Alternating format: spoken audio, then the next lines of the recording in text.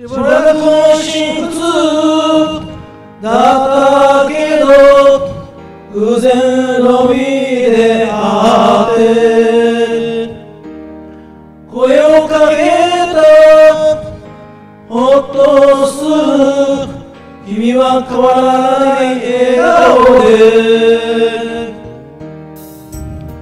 あの人は勝ち組なのかとしわだかまりがあってあの頃の思い出が今よみがえってきた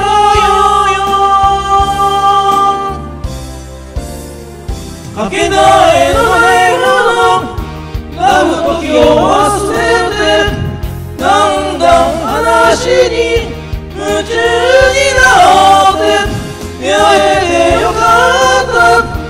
こちなかったけれどそれは手をつるときめきこの降り注ぐビルの星空にふと一人きりがよぎる自宅を出る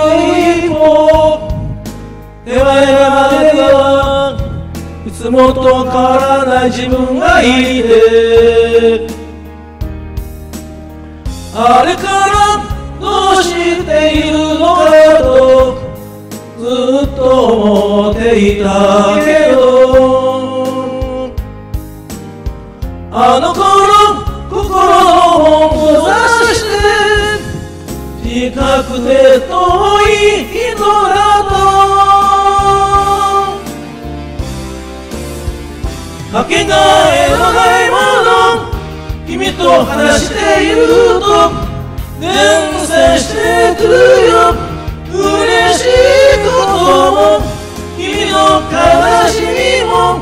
全部受け止めたい。昨日と違う朝日が昇る。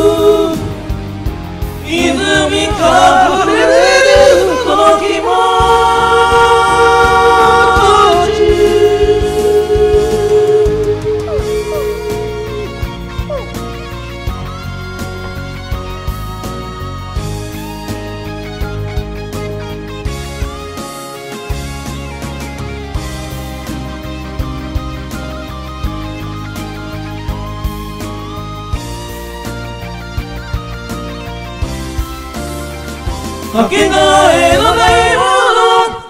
それはあなたよ。こんなに距離が縮まってきたよ。太陽が降り注ぐ。丘に佇み。その通り